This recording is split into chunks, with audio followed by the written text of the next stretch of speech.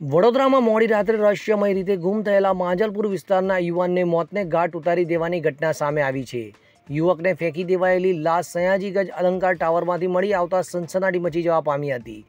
મળતી માહિતી મુજબ શહેરના માંજલપુર વિસ્તારમાં રહેતા ઓગણ વર્ષીય દક્ષ હસમુખભાઈ પટેલ ગત રાત્રે અગિયાર વાગ્યાથી એક્ટિવા લઈને ઘરેથી નીકળ્યો હતો, પરંતુ સવાર સુધી ઘરે પરત ન ફરતા પરિવાર ચિંતિત થઈ જતા માંજલપુર પોલીસ સ્ટેશનમાં પુત્ર ગુમ થયા હોવાની જાણકારી આપવામાં આવી હતી.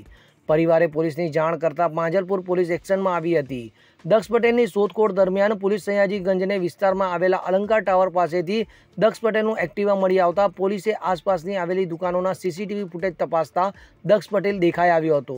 તે દરમિયાન અલંકાર ટાવરમાં આવેલા ખંડેર જેવા બેઝમેન્ટમાં એક લાશ મળી આવવાની પોલીસને જાણ મળી આવતા ઘટના સ્થળે પહોંચી તપાસ કરતા બેઝમેન્ટમાં લાલ રંગના નાયલોનની દોરી જેવી વસ્તુથી પગ બાંધેલી હાલતમાં એક લાશ મળી આવી હતી.